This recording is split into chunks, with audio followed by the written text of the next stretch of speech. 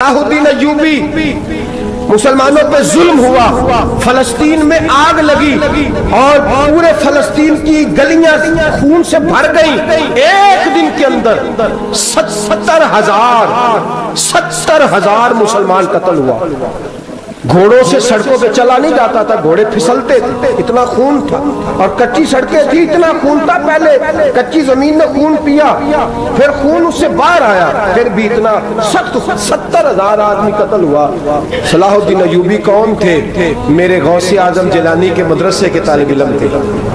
जामिया निजामिया मदरसा, ये मदरसे हैं जिन्होंने दीन के मुजाहिद पैदा किए। मदारस है जिन्होंने दीन के मुजाहिद पैदा करके पूरी दुनिया के अंदर फैलाए हैं। मदारस के अंदर दहशत गर्दी आई, मैं इख्तलाफ नहीं करता, लेकिन अभी भी मदरसे हैं जिन मदरसों से रसूलुल्लाह के दीन का सच्चा दरस दिया जाता है। अमन, प्यार और मोहब्बत की फिजा को आम किया जाता है वो मदारस। और इंशाल्लाह कयामत की सुबह तक वो मदरसे कायम रहेंगे। सलाहुद्दीन अयूबी मदरसे के तालब इलम है, मदरसे का। लेकिन मदरसा उसका था जो सात दरवेश भी था। सलाहुद्दीन अयूबी अकेला अपने दोस्तों से कहने लगा, मुसलमानों की मदद चंद सालों में निकलो, मदद करें। उन्होंने कहा, तेरे निकलने से क्या होगा? कहने लगा, मैंने नहीं निकलना, मेरे अल्लाह ने मेरी मदद करनी है। मेरे अल्लाह ने मेरी उठ बाँध कमर, क्या डरता है? फिर देख खुदा क्या करता है। तो मैं, मुझे निकलने दे, अल्लाह मेरी मदद करेगा। थोड़ा थोड़ा करके फौज जमा की, कोशिश की। चंद सालों के बाद, उसी जगह जहाँ मुसलमानों का खून बहा था, अल्लाह ने इस्लाम का झंडा फिर से बुलंद कर दिया। सलाहुद्दीन अयूबी फाते बन के मस्जिद अक्सा के दरवाजे पे खड़ा है। चंद साल गुजरे, ईसाइयों का अपना वो जुल्म अभी याद है। और ईसाई सारे लीडर कहते हैं, तैयारी कर लो, अब हमारे बच्चे काटे जाएँगे, औरतें बेवा होंगी, गर्दने कटेंगी। अब देखना, जितना खून हमने बहाया था, मुसलमान उससे दुगना बहाएँगे। सलाहुद्दीन अयूबी घोड़े पे खड़े हैं। और पूछते हैं, ओ ईसाइयों बताओ तुम्हारे साथ क्या करूँ? गर्दनें झुक गई। जवाब कोई भी नहीं। तुमने सत्तर हज़ार मुसलमान एक दिन में मारा था? बोलो तुम्हारे साथ क्या करूँ? तुमने एक दिन में मुसलमान यूँ काटे जैसे गाजर मूली काटी जाती है, बोलो क्या करूँ? ईसाई कहने लगे। हमें अपने जुल्म याद है तशद याद है बरबरीत याद है। तू बेहतर जानता है, तूने क्या करना है। सलाहुद्दीन अयूबी घोड़े पे फाते खड़ा है, आँखों में आँसू आए, तड़प के रोया। कहने लगा, मैं तुम्हारे साथ वही सलूक करूँगा, जो मेरे मुस्तफ़ा ने कुरैश मक्का के साथ फरमाया था। ला तसरी जाओ तुम पर कोई जाओ तुम आज़ाद हो। उसने कहा, तू कर क्या रहा है? कहने लगा, मैं क्या करूँ? मैं उस मोहम्मद का मानने वाला हूँ जिसने माफ़ करना सिखाया है। मेरे पैरों में जंजीर है रसूलुल्लाह की गुलामी की। जाओ तुम आज़ाद हो। उसने कहा, तुम आज़ाद हो। लोगों ने कलमा पढ़ना शुरू कर दिया। अब्दुहु। सारे कबीले के कुछ ना कुछ लोग मुसलमान, एक कबीला रह गया। मुसलमान नहीं होता। सलाहुद्दीन अयूबी अपने खैमे में बैठे हैं तो एक बीबी आ गई। उस कबीले का कोई शख्स मुसलमान नहीं होता। बीबी आई, आके कहने लगी, मेरे चार बेटे जंग में खो गए छोटे छोटे बच्चे। जंग में खो गए मिल नहीं रहे। फौजियों को हुक्म दे, मुझे मेरे बच्चे तलाश करके दे।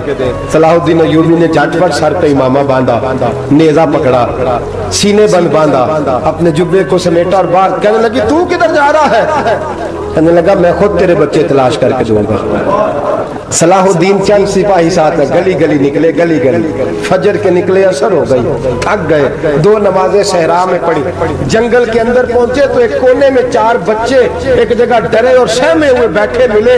सलाहुद्दीन अयूबी उठा के लाए। माँ को कहने लगे, तेरे बच्चे हैं। निकला इसलिए था कि मेरे नबी ने फरमाया, बच्चे जुदा हो तो माँ को दर्द बढ़ा होता है। और मेरे रसूल ने फरमाया था, जब जंग करने जाओ तो खेत बर्बाद न करना, फ़सलें तबाह न करना। बच्चों को माँ से जुदा ना करना। फरमाया, मैं सोच रहा था तेरे बच्चे, कहीं मेरी वजह से जुदा हो गए तो मुस्तफ़ा को जवाब क्या देना? फरमाया, तेरे बच्चे ढूंढ के लाया हूँ। बच्चे माँ के पास आने लगे तो माँ ने बड़े बेटे के मुँह पे थप्पड़ मारा। कहता, अम्मा, क्या हुआ? कहने लगे, तूने सुना नहीं कि दुश्मन के बच्चों की इतनी हिफाजत करता मेरे पास ना जा, उसके कदमों में बैठ जा। जिस नबी के गुलाम इतने सच्चे हैं, वो नबी कितना सच्चा होगा? जिस नबी के नौकर इतने खड़े हैं, वो नबी कितना खड़ा होगा? जा जाके कलमा पढ़ ले। मुसलमानों की ना एक तादाद लड़ते लड़ते लड़ते लड़ते दूर चले गई। तातारियों ने कैद कर लिया। चार मुसलमान थे, तबलीग करने गए, जंग करने गए, जिहाद करते करते काफिरों से लड़ते लड़ते तातारी कौम में चले गए। वहाँ कैद कर लिए गए तो सजाए मौत का हुक्म हुआ। चार बुज़ुर्ग थे। सजाए मौत का हुक्म हुआ तो तातारी बादशाह जो था, वो बड़ा खिलाफ था, बड़ा सख्त मुखालिफ था मुसलमानों के। उसने कहा कि इनको जब फांसी देना ना मुसलमानों को तो मेरे सामने देना।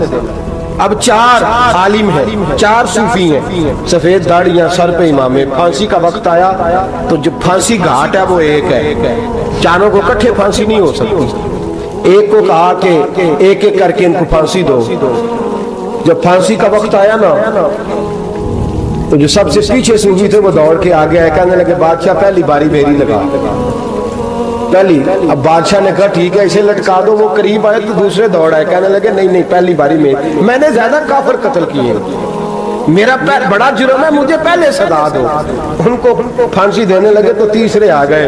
कहने लगे, नहीं, ये तो मेरा कत्ल करता था, रस्ते में बताया करता था। ढूंढ के मैं बतलाता था कि यहाँ ज़्यादा तादाद है। मुझे पहले फांसी दो। तीसरे के साथ बात हो रही थी तो चौथा दौड़ा आया।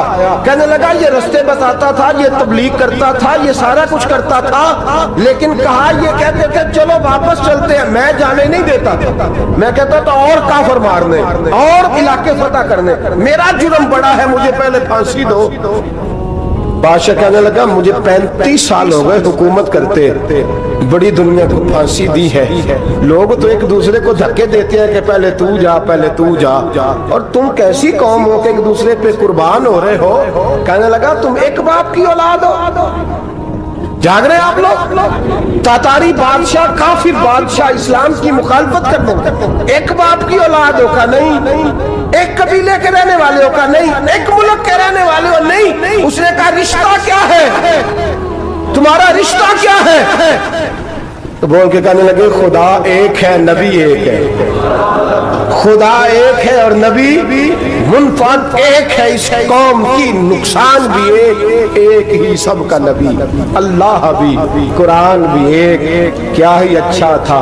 होते अगर मुसलमान भी एक, यूँ तो सैयद भी हो, मिर्ज़ा भी हो, अफगान भी हो। तुम सभी कुछ हो, बताओ कि मुसलमान भी हो। फरमाया, हमारा अल्लाह एक है, नबी एक है तो कहा एक दूसरे पे जान क्यों देते हो? फरमाया, हमारे नबी ने हमें भाई भाई बना दिया है। भाई का दिल नहीं करता उसकी आँखों के सामने भाई चला जाए। हमारा दिल नहीं करता, पहले मुझे दे, पहले मुझे दे। बादशाह कहने लगा, तुम्हारा जज्बा मुझे मुतासर कर गया, जाओ मैं तुम चारों को आज़ाद करता हूँ। तुम्हें आज़ाद करता हूँ। मेरे दोस्तों, ये रंग था देखे ना, ये इस धरती ने निज़ाम देखा ना, इस फलक में पहली बार देखा। इस ज़मीन में पहली बार, और मेरे हज़रत फरमाया करते थे, ज़मीन तड़प के रोई, उसने पहली दफ़ा देखा। ओहद का मैदान है। तीन से आबा तपती हुई ज़मीन पे, जख्मों से चूर चूर पड़े हैं।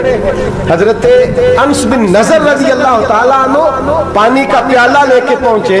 एक जख्मी से कहा, तुझे पानी पिलाना है। तो कहने लगा, मेरे जख्म थोड़े हैं, वो जो साथ पड़ा उसके जख्म गहरे हैं। पहले उसे पानी पिला दे या उसे दे दे। उसके पास पहुँचे तो वो कहने लगा, वो मुझसे पहले गिरा था, उसका जख्म ज़्यादा गहरा है, उसे पानी पिला। तीसरे के पास गए तो कहने लगा, चौथा तड़प ज़्यादा रहा है, उसकी उम्र ज़्यादा है मैं तो जवान हूँ, बर्दाश्त कर लू। बुढ़ापे की वजह से निढाल हो गया। पहले उसे पानी पिला। चौथा कहने लगा, पांचवे के पास जा। पांचवा कहने लगा, छठे के पास जा। हज़रत भी नज़र कहते, मैं रो पड़ा। मैंने कहा, मोहम्मद के गुलामो रसूल ने तुम्हें कैसा जज्बा दे दिया है? ज़ुबान प्याज से बाहर है, लेकिन तुम्हारी मरते दम तक कायम है। कहते, मैं सातवें के पास गया। तो कहने लगा, अगर छह कुर्बानी दे सकते हैं तो मुझे खुद गर्ज न समझ। मैं मैंने नहीं पानी पीना। जा पहले के पास ले जा। कहते, मैं पहले के पास आया तो रूह परवाज कर गई। दूसरे के पास आया तो रूह परवाज कर गई। मैं सातवें तक आया तो इंतकाल कर गए। कहते, पानी का प्याला मैंने उठाया और मैंने ज़मीन पे रखा। तो मैंने कहा पानी कमा रहना मोहम्मद के गुलाम मर तो जाते हैं, पर एक दूसरे का ख्याल बड़ा रखा करते हैं। घबरा रहना, ये मर जाया करते। लेकिन एक दूसरे का दर्द, मेरे दोस्तों, लुटा हुआ बर्मा, रोते हुए मुसलमान शिशक्तियाँ और आहें लेती हुई माए पूछती हैं खासा है खासा ने रसुल वक्त दुआ है। उम्मत पे तेरी आके अजब वक्त पड़ा है। वो दीन जो बड़ी शान से निकला था वतन से परदेश में वो दीन आज गरीबुल गुरबा है। फरियाद है कश्ती ये उम्मत के निगे बा बेड़ा ये तबाही के करीब आन लगा है। और क्या खूबसूरत जुमले कहे थे के, के नबी पाक सल्लल्लाहु अलैहि वसल्लम ने, हुजूर ने फरमाया था, मेरा मोमिन एक जान की तरह होता है, एक जान की तरह होता है। एक को तकलीफ़ हो जिसम के एक हिस्से को, सारा हिस्सा परेशान होता है। फरमाया, ये एक मकान की तरह है, एक ईंट दूसरी ईंट को मज़बूत करती है। फरमाया, ये मज़बूत लोग हैं, ये मज़बूत लोग। हज़रत उमर फारूक का जमाना है, एक आदमी ने सीरी भेज दी।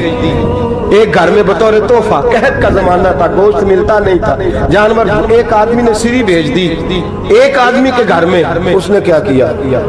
उसने अपनी बीवी से कहा, हमारी तो खैर है। साथ वाला पड़ोसी ज़्यादा गरीब है। उधर न भेज दे। यहाँ गंदम अमीर शहर की होती रही खराब और बच्ची किसी फकीर की फाकों से मर गई।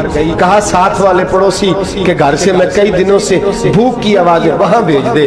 उसके घर गई तो उसकी बीवी शोहर को मशवरा देती है। कहती है, मेरे बच्चे तो दलेर है। साथ वाले के छोटे हैं। वो गुजारा नहीं। उधर न भेज दे। उधर गई उधर गई। एक रवायत है सात घर। एक रवायत है इक्कीस घर। इक्कीस घरों में घूमती हुई वो श्री फिर पहले के घर में आ गई। और पहला से अभी कहने लगा, सिर्फ़ तूने ही मोहम्मद का कलबा नहीं पढ़ा, बाकी भी इसने भी पढ़ा हुआ है। सिर्फ़ तूने ही रसूलुल्लाह से ये दर्श नहीं लिया, बाकियों ने भी लिया है। और सिर्फ़ तेरे अंदर ही जज्बा एसार नहीं, तू ही सिर्फ़ मुसलमानों से प्यार नहीं करती, सारे ही प्यार करते हैं। वो श्री फिर आ गई, अब क्या करना है? अब क्या करना है? तो इमाम नबी ने लिखा है, वो कहने लगी, करना क्या है? पकाऊँगी मैं, और खाएँगे इक्कीस गाल फिर भी अकेले नहीं खाएँगे, पकाऊँगी मैं, और खाएँगे इक्कीस घरों के मुताबिक शोरबा पका। और फिर बर्तन में डाल के वो बीबी एक के घर का दरवाज़ा खटखटाती है, कहती है, मुस्तफ़ा के गुलामों, निकलो बाहर और खाओ। इसलिए कि जिस नबी ने मुझे प्यार का हुक्म दिया, उसी ने तुम्हें भी प्यार करना सिखाया है। ये रंग चश्मे फलक ने सिखाया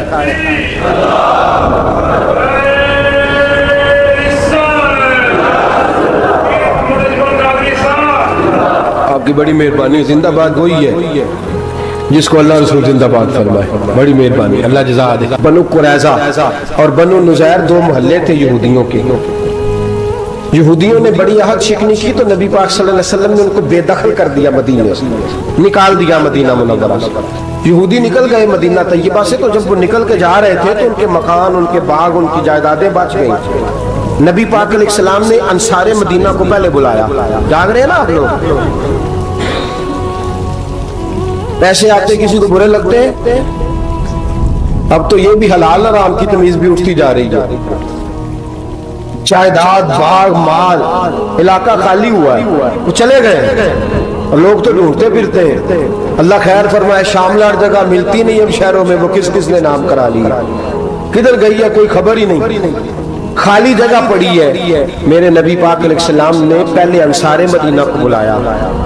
हजूर ने फरमाया, अंसारियों बहुत बड़ी जायदादें यहूदियों की, बनु नुजैर और बनु कुरैजा महल्ले खाली हो गए। मेरा दिल करता है वो तुम्हें दे दूँ। इसलिए कि तुमने अपने मुहाजिर भाइयों के साथ बड़ा ताउन किया, जायदादें तुमने दे दी हैं, मकानात दे दिए हैं, बड़ा कुछ तुमने दिया है। मेरा दिल करता है वो तुम्हारे नाम कर दूँ। तो अंसारे मदीना क्या कहने लगे? कहने लगे, या रसूल अल्लाह दे तो हमने दिया है, पर वो बेचारे झिझकते ही रहते हैं। वो झिझकते ही रहते हैं, खोल के हमारी चीज़ें इस्तेमाल नहीं करते। तो हुजूर, हम तो पहले ही अंसार है, हमारे पास बड़ा कुछ है। आप मेहरबानी फरमाए, वो सारा कुछ मुहाजरों को दे दे। दे दे मुहाजरीन को, हमें नहीं चाहिए। अब अब चले गए बात करके, मेरे हबीब पाक ने मुहाजरों को बुला लिया।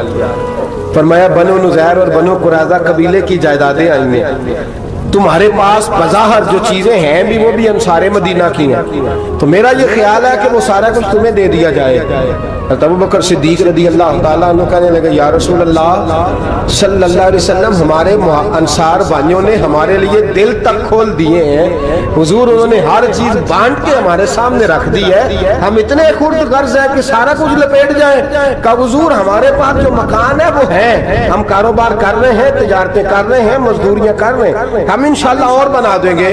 आप ये हमारी तरफ़ से हमारे अंसार भाइयों को गिफ्ट कर देगा आप उन्हें दे दें। मेरे हबीब की आँखों में आँसू आ गए।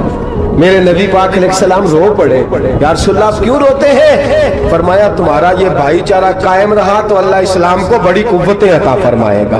अल्लाह ताकतें देगा इस्लाम को, अगर तुम्हारा ये रंग कायम रहा, ये अंदाज मेरे गुलामों, तुम्हारे ये तौर तरीके का भाई कहता है दूसरे को, दूसरा कहता है तीसरे को। अर्ज़ ये करने जा रहा था कि रसूल करीम करीम सल्लल्लाहु अलैहि वसल्लम ने पैगाम दिया उम्मत को। फरमाया देखे ना कितने बड़े लफ्ज है। ये नहीं फरमाया दोजख में जाएगा, ये नहीं फरमाया कि उसे जहन्नम की सजा मिलेगी। मेरे नबी ने फरमाया, मैं उसे मोमिन मानता ही नहीं। मैं उसे मुसलमान अपना मानता ही नहीं। हजूर किसे? फरमाया, जो पेट भर के खाता है और उसका हमसाया भूखा सो जाता है। मैं मोमिन ही नहीं मानता। सजा तो तब मिलेगी ना कि जब मैं किसी सजा का ऐलान करूँ, मैं मानता ही नहीं। वो मेरा है ही नहीं। खुद पेट भर के खा रहा है हमसाया, उसका भूखा। मैं नहीं मानता इन नबल मोमिन मोमिन भाई भाई, मैं मानता ही नहीं उसे। और मेरे हबीब पाक, इतने बड़े लफ्ज हदीस में और कहीं नहीं मिलेंगे आपको इतने बड़े जुमले कहीं नहीं मिलेंगे। मेरे नबी पाक ने फरमाया, अल्लाह कहेगा, कयामत के दिन। कौन? इतने बड़े लफ्ज हदीसों में मिलते नहीं जितने ये हैं। हुजूर ने फरमाया, रब फरमाएगा बंदे से कि मैं तेरे पड़ोस में भूखा था, तूने मुझे रोटी क्यों नहीं खिलाई? कौन कह रहा है? अल्लाह कह, मैं भूखा था, तूने रोटी नहीं दी, मैं नंगा था, तूने कपड़ा नहीं दिया, मैं प्यासा था, तूने पानी नहीं पिलाया, मैं बीमार था, तू तीमारदारी। या अल्लाह, ना तू खाता है, ना पीता है, ना कपड़ा पहनता है, न तू बीमार होता है। लाता खुजूसी न तुम वला दो तुझे बीमारी आती नहीं, ऊँग नींद नहीं आती। मेरे मालिक, तू तू मेरे पड़ोस में था। हजूर फरमाते हैं, रब फरमाएगा, वो जो बंदा तेरे पड़ोस में भूखा था तो बंदा तो मेरा ही था ना।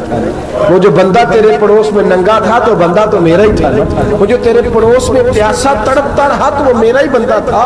तू दवाई लेने जाए तो बड़े अस्पताल में। और उस बेचारे को बीस रुपए पर्ची के भी मुयसर ना आए तो मेरा ही बंदा था। मेरे दोस्त, ख्याल कर। और याद रख, ये जो हम साय ममालक में जुल्म होते हैं, ज्यादतियाँ होती हैं, हमारे घर का पंखा अच्छा चलता है। हम जुलूस उस वक्त निकालते हैं जब हमारी लाइट बंद होती है। हम जुलूस उस वक्त निकालते हैं जब हमारा एसएच हमें तंग करता है। हम उस वक्त दर्द महसूस करते हैं जब हमारे घर तक आग आ जाती है। ये जो बाहर आग जल रही है, ये तेरे घर भी आ सकती है। ये जो बाहर फसाद हो रहा है, ये तेरे दरवाजे तक आ सकता है। मेरे रसूल पाक ने एक जान, मुसलमान को एक जान करार दिया। मुझे बताइए, उंगली को कट लग जाए। मुसलमान एक जान है ना? उंगली को लग जाए कट। दिमाग कहता है, मैंने नहीं सोचना इसके बारे में, मैंने इसके दर्द को महसूस ही नहीं करना, उंगली की दर्द है, उंगली जाने उसका काम जाने। ऐसे ही होता है ना? बोले, पैरों से कहते हैं, उंगली कहती है, चाहे डॉक्टर के पास, पैर कहते हैं, नहीं, मैंने नहीं जाना। उंगली का काम है, उंगली जाए। ऐसे ही है ना? दिल से कहते हैं, तू तड़प थोड़ा सा, उंगली को दर्द है। कहते मैं क्यों तड़पू? उंगली का मामा, उंगली जाने, उसका काम जाने जाने। टेलीफोन करना है, डॉक्टर साहब का पता करना है तो कहते हैं, मैंने नहीं बात सुननी डॉक्टर साहब की, ज़ुबान कहती है, मैंने नहीं बोलना, उंगली जाने, ऐसा होता है। पैर एहतजाज करते कि मैंने डॉक्टर के पास, मैं कुछ चक्कर खाता फिर, डॉक्टर की दुकान की, उंगली को दर्द है, उंगली जाने, ऐसा होता है। भाई, मेरे रसूल पाक ने फरमाया, मुसलमान एक जान है। तो दर्द बर्मा के मुसलमानों को हो रहा है तो पाकिस्तानी कह रहे हैं, कोई बात नहीं, वो जाने, उनका काम जाने। एक जान है ना? दर्द होना चाहिए, तकलीफ़ होना चाहिए। फटे पे बातें होती हैं इस मौजूद पे। असेंबली पे गुफ्तु हुई है इस मौजूद पे। आपकी सुबाई असेंबलियाँ इस मौजूद पे बोली आपके काउंसिल इस मौजूद पे बोले, हम तो अपनी अपनी सियासत, अपने अपने तमाशे, अपने अपने चक्रों में लगे हुए वो दरिया के अंदर सिसकते मुसलमान, बंगाली कहते हमारे नहीं। बर्मी कहते हमारे नहीं। पाकिस्तानी कहते हमारे नहीं। तुर्की कहते हम किसके? वो किसके हैं? वो अल्लाह के बंदे हैं, मोहम्मद अरबी के गुलाम है। सल्लल्लाहु अलैहि वसल्लम लेकिन मेरे दोस्तों, क्या हमें क्या गर्ज है? वो जाने, उनका काम जाने। ये जब तेरे पैरों तक आग आएगी, फिर तुझे पता चलेगा ये बड़ी सख्त आग है। आज जिस काफर ने बर्मा पर अरसा दराज तंग किया, मुसलमान थोड़े थोड़े मुफाद लेने की खातर ना, बनु अब्बास और बनु मैया की जंग चल रही थी। बनु अब्बास जो थे, वो गालिब आ गए। बनु मैया जो थे, उनकी हुकूमत खत्म हो गई। तो ईसाइयों ने बनु मैया से कहा कि हम तुम्हारे साथ ताउन करते हैं। हम तुम्हारे साथ ताउन करते हैं और बनु अब्बास पे गलबा पा के तुम्हें हुकूमत दिलाते बनु मैया बड़ी जद्दोजहद कर रहे थे बादशाही के लिए, लेकिन उन्होंने कहा कि हम लड़ रहे हैं, कोशिश कर रहे हैं, लेकिन हमें किसी काफिर की मदद की ज़रूरत नहीं। हम जितना मर्ज़ी लड़े, लेकिन काफिरों के हाथे बनु अब्बास को मरवाने को हम तैयार तो नहीं हमें खबरदार, तुम्हारा आपस का मामला है, हम खुद निमट लेंगे। तुम्हें इजाज़त नहीं देते, तुम अंदर कूदो और कूद करके तुम फसादात पैदा करो और मुसलमानों के अंदर तकसीम करो। मेरे दोस्तों, मुसलमान को सोचना चाहिए, सोच बड़ी रखनी चाहिए। घर की जंग से निकल आ। अब बहु साज के झगड़े से बाहर आ जा। अब मल्ले की सियासत छोड़ के बाहर का सोच। अब इस्लाम को तेरी हाजत है। अब अब अब पूरी दुनिया जब मुसलमान को देखे देखे ना फेसबुक यूज़ होती है, उस पर नौजवान जब इस्लाम की बात करने लगेगा, उस पर जब बड़ा इस्लाम की बात करने लगेगा, पूरी दुनिया में पैगाम जाएगा कि मुसलमान अब जागने लगा है, मुस्लिम खाबीदा बेदार होने लगा है, अब इसकी आँखें खुलने लगी है, अब ये अपने मज़हब की बात करता है, अब ये अपने मुल्क से, सूबे से, बरादरी से निकल कर बोलता है, अब ये कहता है कि बाजू तेरा तोहीद की कुत से कवि है, इस्लाम तेरा देश है, तू मुस्तफी है अब ये बड़ी सोच रखता है, अब ये आलमी बात करता है। मेरे दोस्तों, हमारा तो हाल ये है। इमाम आज़म अबू हनीफा का फतवा है। आप फरमाते हैं, जो मौलवी आलमी हालात से बाखबर ना हो, वो जुमे की तकरीर ना करे। वो मुसलमानों की रहनुमाई नहीं कर सकता। आलमी हालात से जो खबरदार ना हो। तो जिसको छुट्टी हो जाए तो उन्हें खत्म नहीं पड़ा। दौड़ जा मस्जिद से। तू खत्म नहीं पड़ता हमारे, तुझे पता ही नहीं दुकान रहता। है भाग जा। वो आलमी हालात पे बात करेगा। क्योंकि बेचारे को तो पता है मेरी सवेरे छुट्टी हो जानी सियासत का लफज छेड़ा नहीं तो मैं गया नहीं। याद रखे, वो जो बेदारी है, वो जो आला जरफी है, वो जो बड़ी सोच है, वो जो मिल्लत की सोच, वो जो कौमियत की सोच है, वो जो आगे बढ़ने का जाविया, वो तो अंदर इकबाल कहते हैं, गला तो घूट दिया, अहले मदरसा ने तेरा। गला तो घूट दिया, अहले मदरसा ने तेरा। तुझे तो मदरसे वालों ने प्लेट पकड़ा दिया कि जा सवेरे लंगर इकट्ठा करके ला, और दोपहर को रोटियाँ मांग के ला, और देख आज मरा कौन है, खत्म किसका पढ़ना है? तो गला तो घूट दिया, अहले मदरसा ने तेरा। अब कहाँ से आएगी सदा ला तो घूट दिया तेरा गला, तू कैसे बड़ी बात करेगा? बड़ी बात के लिए बड़ी सोच चाहिए, बड़ी तगोदो चाहिए, बड़ी कोशिश चाहिए, बड़ा हौसला चाहिए। मुसलमान छोटी छोटी लड़ाई में छोटी छोटी जंग में, एक दुकानदार दूसरे दुकानदार से लड़ रहा है, गली वाला दूसरी गली वाली से लड़ रहा है, मोहल्ले वाला, मोहल्लों पे इतराज, एक शहर में रहने वाले मैंने दूसरे मोहल्ले पे इतराज करते देखे यकीन करें, एक शहर में रहने वाले, इलाके में बसने वाले कहते हो भाई, तोबा उस मोहल्ले तो अल्लाह ही बचाए। लाहौल वो जो तकसीम दर तकसीम की सोच है, उसने छोटे छोटे टुकड़ों में छोटे छोटे टुकड़ों में मुसलमानों को बांट दिया है। छोटी छोटी तकसीम है, छोटा छोटा हमारा मिजाज है, छोटी सोच है। बड़ी सोच की बात सुनिए, सलाहुद्दीन अयूबी जाग रहे ना आप लोग? तुम आखना हज़रत साहब, एडी वीडी गल छेड़ छड़ी है। इसका मतलब ही कौन, किन्ने बर्मा जाना है तो किन्ने मदद करनी है। मैं तो भाई फरीजा सर अंजाम दे रहा हूँ। मेरे नबी ने फरमाया, बुराई को या हाथ से बदल। हाथ से नहीं बदल सकता तो ज़ुबान से तो बोलना। るな तो मैं माजूर हूँ, कमज़ोर आदमी हूँ, हाथ से बदलने की ताकत नहीं रखता तो दूसरे दर्जे पे तो मुझे अमल करने दो ना। असर करे न करे, सुन तो ले मेरी फरियाद। नहीं है दाद का तालिब, ये बंदा आज़ाद। रोने तो दो, तड़पने तो दो, आहे तो बहाने दो, सिस्कियाँ तो लेने दो, मार खाइए तो तड़पने तो दो। वो कुरान पाक बर्मा में पाबंदी लगी है तो मैं यहाँ सोचने लगा हूँ कि वहाँ तो पाबंदी लगी है, यहाँ पहले लोग कोई नहीं पढ़ी। माजल्ला हालात दिन ब दिन मुसलमानों के लिए एक एक एक करके। अफ़गानिस्तान में जो आग लगी थी, फिर वो इराक में भी लगी। फिर वो लीबिया में भी लगी, फिर वो मिस्र में भी लगी, फिर वो यमन में भी लगी। सऊदी अरब में धमाके हुए, मेरा दिल तड़पा है। मुझे परेशानी हुई। मैं बच्चे पास थे, मैं बड़ा डिस्टर्ब हुआ। मैंने कहा, यार, ये हमारा सबका इजमाई अकीदत का मरकज है। हम कम अज कम हज़ार इख्तलाफ के बावजूद कहा करते थे कि अरब में अमन है, यार, वहाँ सुकून है। वहाँ दुकानें खुली छोड़ के लोग चले जाते हैं। वहाँ भी वहाँ भी फसाद होने लगा। वहाँ भी आग बढ़ गई है। लेकिन हम सिर्फ़ छोटी छोटी करके जब आग बुझाने की कोशिश करेंगे, उस वक्त आग नहीं बुझेगी। जब हर आदमी अपने प्याले में पानी लेके आएगा। हर शख्स अपने घर की नाल चलाएगा, हर शख्स नलका चलाएगा और पानी निकाल के ये आग बुझाएगा तभी आग बुझेगी। हर आदमी को किरदार, सोच बड़ी करे, नज़रिया बड़ा करे, मिल्लत की बात करे, मुसलमान होके सोचे, मुसलमान होके सोचे, खुदारा, निकले ये घर के झगड़ों से। थोड़ी देर के लिए अपने आप को बड़ा करें। बड़ी सोच आप बनाए, जब दोस्तियाँ लगाए, जराने लगाए छोटे मोटे हिसाब से बचे। बाबा बुल्ले शाह साहब फरमाते कोरे वर्क किताब नहीं होंगे कोरे वर्ग किताब नहीं होंगे पत्थर दिल गुलाब नहीं होंगे और बुलिया यारी सोच के लाई नाल हिसाब नहीं होंगे फिर जरा निकले इस हिसाब किताब से बात बुलिया यारी सोच के लाई, यारा नाल नहीं होंगे फिर जरा बड़ा जेन करे, छोड़े अपने वला नबलुवन्नकुम बिशैइन मिनल खौफ मिनल अमवाल समरात। फिर हिसाब किताब से निकले। फिर इमाम अली मकाम की तरह ये सोच बनाए कि हुसैन के बच्चे चले जाए तो कोई हर्ज नहीं। उम्मत पर आँच नहीं आनी चाहिए। एक इमाम अली मकाम, कल तक इमाम मैदान में खड़े थे तो अकेले थे। लेकिन आज पूरी दुनिया कहती है, हुसैन हमारा है। हुसैन हमारा आज नज़रिया इमाम अली मकाम ज़िंदा है, तू अकेला है तो खड़ा हो, ये ना कहा कर छोटी सी मस्जिद है, एक कोना का खड़कावा मौलाना तकरीर कर रहे हैं तो क्या बनेगा? एक आवाज़ कहीं से गूंजा करती है, फिर उसमें तासीर मेरा अल्लाह पैदा फरमा दिया करता है, फिर उसके अंदर कुत मेरा रब पैदा फरमा दिया करता है, फिर अल्लाह उसमें तासीर पैदा करके चार दांग आलम में फैला दिया करता है। जब आप नमाज़ पढ़ रहे होते हैं, जब आपका मुसल्ला आबाद होता है, सलाहुद्दीन अयूबी एक बुज़ुर्ग से मुलाकात हो गई। बैतुल मकदस पर कब्ज़ा था ईसाइयों का।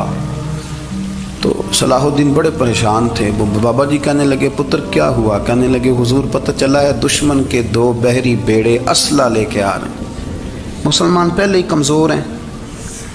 और अब अगर दो बहरी बेड़े और आ गए तो हजूर मसला बन जाएगा। तो मैं परेशान हूँ कि किस तरह ये कम मसले वाली हमारी फ़ौज है, कैसे मुकाबला करेगी? तो बाबा जी कहने लगे, पुत्र, इस तरह करना, आज रात तू भी दुआ करना और मैं भी करूँगा। तू भी दुआ करना। आप नाराज़ ना होना, हम तो पीरों वाले हैं, हम तो पीरों के नौकर गुलाम हैं, हमारा तो गुजारा ही नहीं। हमें तो मिलता है सारा कुछ वहाँ से। पर मेरा सवाल ये है कि तवीज़ लेने जाते हो, नफल क्यों नहीं पढ़ते? रात अल्लाह अल्लाह क्यों नहीं करते? ये भी तो हमारे बुज़ुर्गों का ही तरीका है। उन्होंने तो हमें सिखाया है। सलाहुद्दीन अयूबी से बुज़ुर्गों ने कहा कि रात आज ना अल्लाह अल्लाह करना तो मैं तेरे लिए दुआ करूँगा, तू भी दुआ करना। तो बंदा जब दुखी होता है तो सजदा करता है तो फिर ही तो मुसल्ला भीग जाता है। फिर ही तो मज़ा आता है। सुखी बंदा तो काबे जाके नहीं रोता। दुखी थे, तकलीफ़ थी तो सर रखा सजदे में तो तड़प गए। और वो बाबा जी कहते हैं, मैं मस्जिद आया तो सलाहुद्दीन चीखे मार के रो रहा था। और कह रहा था, मालिक, मैं कोई अपनी शान के लिए तो नहीं ना लड़ रहा। अल्लाह को मैं कोई कोई कब्जों के लिए तो नहीं लड़ रहा। मालिक, तेरे लिए लड़ रहा हूँ, मुझे बेआबरू ना करना।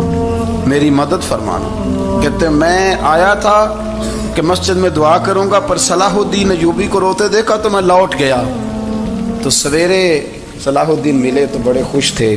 मैंने कहा, पुत्र, क्या हुआ? कहने लगे, हुजूर, वो बैरी बेड़े दो आ रहे थे ना असला लेके, दोनों डूब गए पानी में। पानी में डूब गए तो बाबा जी कहने लगे, सलाहुद्दीन, वो पानी में नहीं डूबे, वो तेरे आंसुओं में डूब गए। वो गरक हो गए, वो जो तूने मुसल्ला बात किया तो वो तेरे आंसुओं में डूब गए, वो गरक हो गए। वो वो तबाह इतने कीमती थे, तेरे आँसू के बहा ले गए दुश्मन के बैरी बेड़ों को। मेरे भाई, ठीक हो गया जी। मेरे अज़ीज़, समझ लें इस बात को हमेशा के लिए। और इस पर गौर कर लें अच्छे तरीके से कि मेरे रसूल करीम सैयद आलम सल्लल्लाहु अलैहि वसल्लम ने ना हमारी तवज्जो दिलाई। हुजूर ने हमें बतलाया, हमारा जौक बढ़ाया इबादत की तरफ़। एक सहाबी थे, हज़रत अबू फातिमा रदी अल्लाह तला ये तिरमिजी शरीफ की हदीस है। नबी पाक सलाम ने फरमाया, अबू फातिमा, क़यामत के दिन मुझसे जल्दी मिलना चाहते हो कि देर के साथ?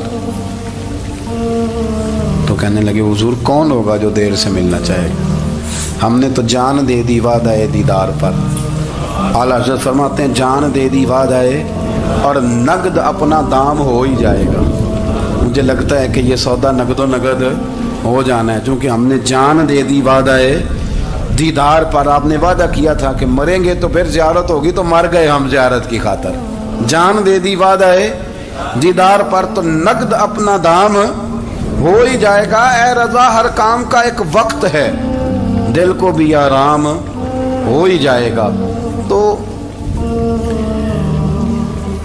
हज़रत अबू फातिमा रदी अल्लाह तु से नबी पाक वसल्लम ने फरमाया, जल्दी मिलना चाहते हो कि देर से उसकी हजूर फटाफट मिलना है मैंने। क़्यामत के दिन आपसे जल्दी मिलना है। तो नबी पाक सलाम ने फरमाया, फिर इस तरह करना, दुनिया में रह के सजदे ज़्यादा करना। फिर सजदे ज़्यादा करना, क़्यामत में मुलाकात जल्दी हो जाएगी। कुर्ब मिलेगा तुम्हें। अपने बच्चों के अंदर देखे ना हम शौक़ पैदा करते हैं। हमें सही लफ्ज़ नहीं बोलने आते, पर हम बच्चों में शौक़ पैदा करते हैं कि पुत्र डॉक्टर बन जाएगा तो बड़ा नफ़ा करेगा तो। तो लोगों की खिदमत करेगा, मुल्क व मिलत की खिदमत करेगा, तेरे अब्बा का नाम रोशन होगा, तेरे दादा की तारीफ़ें होंगी, हम ये ज़ौक़ पैदा करते हैं। हम अपने नौजवानों के अंदर ये फ़िक्र पैदा करते हैं, उन्हें हम समझाते हैं कि मियाँ, जब तुम पढ़ोगे, मेहनत करोगे तो फला आदमी की तरह तुम्हारा नाम होगा। ये जितना जौक हम बच्चों के अंदर इन चीज़ों का पैदा करते हमें हुक्म है, किसी तरह हम जौक पैदा करें कि पुत्र नमाज़ पढ़ेगा तो अल्लाह राज़ी हो जाएगा। तो सजदा करेगा। देखे ना मेरे रसूल करीम सलाम ने फरमाया, सात साल के बच्चे को मस्जिद लेके जाओ, यानी उसे शौक दिलाओ। उसके अंदर ये खासियत पैदा करो कि उसका दिल करे मस्जिद में जाने को। उसके अंदर ये ये खसूसियात लाओ कि वो हमारे यहाँ ना हर चीज़ को प्रमोट किया जा रहा है। हर चीज़ को, हर चीज़ को। यानी सुर संगीत सिखाने के लिए अकेडमियाँ बन गई। हर शय प्रमोट हो रही है। इबादत का जज्बा कम होता जा रहा है। अल्लाह अल्लाह का जौक हमारे अंदर नहीं रहा। और इतना मुश्किल हमने अपने लिए बना लिया है कि वो बंदा जो बड़ी ज़बरदस्त मजहबी गुफ्तगु कर रहा था और तगड़ी बात कर रहा था, क्या बात है? लेकिन नमाज़ के बारे में कमज़ोरी दिखा जाता है। नवाफल के बारे में वो चुपके से निकल जाता है। इमाम अहमद बिन हम्बल रहमत मुस्ंद इमाम अहमद बिन हम्बल चौदह जिल्दों में है मार्केट में। और, मुझे तो खैर पसंद ही बड़ी है। मैंने तो कई दफ़ा पढ़ी है। और क्या बात है इमाम अहमद बिन हम्बल कैसे तगड़े किस्म के मुहदस थे और अल्लाह ने कितना उन्हें एजाज़ अता फरमाया हुआ ये कोड़े भी खाते थे, दीन की खातर। सारा कुर्ता लहू से भर भी जाया करता था। बड़ा एजाज वाला शख्स थे, बड़े एजाज वाले। हदीसें जमा करना, हदीसें लिखना, हदीस पढ़ाना, सारा दिन रहते थे। कह सकते थे कि मैं कर तो रहा हूँ काम, और हदीस भी मौजूद है कि आलिम आबिद से अफजल होता है, पर इसके बावजूद इमाम अहमद बिन हम्बल रहमत तीन सौ नफल फ़र्ज़ नमाजों के अलावा पढ़ा करते थे। तीन सौ नवाफिल रोज पढ़ा करते थे। उनके बेटे ने कहा जी, मकान ख़रीदना है तो वो जगह कहाँ करके लूँ? बहुत सारी आबादियाँ तो। फरमाया, पुत्र, वहाँ लेना जहाँ मस्जिद करीब हो। मेरे रसूल करीम, सैयद आलम वसल्लम इतना पसंद करते मस्जिद को, इतना पसंद करते नमाज़ को, कि रसूल करीम वसल्लम तहजद की नमाज़ भी पढ़ते, फिर हजूर फजर की नमाज़ भी पढ़ते, नबी पाक वितर को अलग करके पढ़ते शाह के साथ नहीं पढ़ते। ये तो हम इसलिए इजाज़त दी हमारे बुज़ुर्गों ने के बाद में उठेगा कौन अलहदा वितर पढ़ने के लिए? इशा के साथ पढ़ ले। वितर पढ़ते ताजुद पढ़ते, फजर पढ़ते, इशराक पढ़ते, चाट पढ़ते। फिर मगरिब की नमाज़ के बाद छः रकत अवाबीन पढ़ते। फिर रात को सलातुल्लैल पढ़ते। सैदा शाह सिद्दीका कहती हैं, ज़माना सो जाता और मेरे रसूल मुसल्ला बिछा के खड़े हो जाते। ओ यार, खेती बाड़ी करके नहीं मेहनत मजदूरी करके नहीं, जनाब आयशा कहती हैं, मैं ये भी देखती कि हुजूर एक आयत शुरू करते तो सारी रात उसी को पढ़ते और मेरी नज़र जाती तो कदम मुबारक पे वरम आ जाता। यार नमाज़ पढ़ पढ़ के, इतनी मुशक्क़त करके, इतनी जद्दोजहद करके, वरम आ गया, यार सुल्ला इतनी मेहनत क्यों करते हो? फरमाया फला खून, आपदन, शुकूरा। क्या मैं अपने रब का शुक्र गुजार बंदा ना बनूं? सिहाबा का जौक, इबादतों का, रियाजतों का, तिलावतों का, तबीयत है उनकी। वो एक दूसरे को हज़रत मौला अली शेर खुदा। करम अल्लाह वजह करीम के ज़माने में रूम के बादशाह ने कहा, यार, ये मुसलमानों का पता तो करो, ये आखिर क्यों इतने ज़्यादा मुजाहिद हैं? उस ज़माने में जासूस भेजने का मिजाज था। अब तो जासूस पकड़ा जाता है। अब तो जासूस और जासूसी का शौक वैसे आज भी है। अर्ज़ करूँ, थोड़ी सी बात इस अनुमान से पता है क्या हमारा मसला है? हम जहाँ जाते हैं ना, वहाँ थोड़ी खुशबू सूंघने की कोशिश करते हैं। वो क्या है तो ये क्या है तो इधर क्या है तो थोड़ा सा उधर क्या है? मेरे रसूल पाक, पढ़िए दरू शरीफ। सारे पढ़िए ज़रा ज़ोर से। सल्लल्लाहु नबी पाक सलाम ने फरमाया, जासूसी ना करना, वरना तुम बंदों को ख़राब कर दो। और फरमाया, इस तरह ना हो कि तुम किसी के आप खोल ना निकलो तो तुम्हारे पहले खोल जाएँ। ये ये जो जौक है ना, ये ख़त्म करें। छोड़ें मतलब आप किस चक्कर में पड़े हुए हैं? इतनी ज़्यादा तवज्जो करने की क्या ज़रूरत? ने काम से काम रखें। इसमें बंदा थोड़ा सा ना आसान रहता है। ये जो बहुत ज़्यादा टटोलने वाले लोग होते हैं ना, वो बेचारे फिर उम्र टटोलते ही गुजार देते हैं। इसलिए कि मिजाज ही बहुत पक्का है। बोरी का मुँह खोल के अंदर तक हाथ डालना तो फिर कई दफ़ा सामने से बिच्छू भी लड़ जाता खराबी होती तो जासूसी की जाती थी उसने भी जासूस भेजे। क्योंकि कबीलों के लोग थे, कुछ मुस्लिम, कुछ काफिर, पहचाने नहीं जाते थे लोग। तो कुछ लोग उसने भेजे, उन्होंने आके ना तहकीक की। रिसर्च करी, कि आखिर माजरा क्या है? तो वापस जाकर उन्होंने रिपोर्ट दी ना रूम के बादशाह को। उस रिपोर्ट का एक जुमला बड़ा शानदार है। वो कहने लगा, बादशाह, हमें मुसलमानों की कोई समझ नहीं आई। हमें कोई समझ नहीं आई। उन्होंने कहा क्यों नहीं समझ आई? कहने लगे, यार, अजीब बंदे हैं। जब रात मुसल्ले पे बैठते हैं तो यूँ लगता है इनका दुनिया से रिश्ता ही कोई नहीं। कोई किसी को नहीं जानता, कोई अपने दुख सुना के रो रहा है, कोई अपनी बात करके रो रहा है। लगता है कि इनका कोई रिश्ता है ही नहीं, जब मुसल्ले पे बैठते हैं। और फरमाया, जब सवेरे ये जिहाद करने निकलते हैं तो लगता है इनसे ज़्यादा दलेर ही कोई नहीं।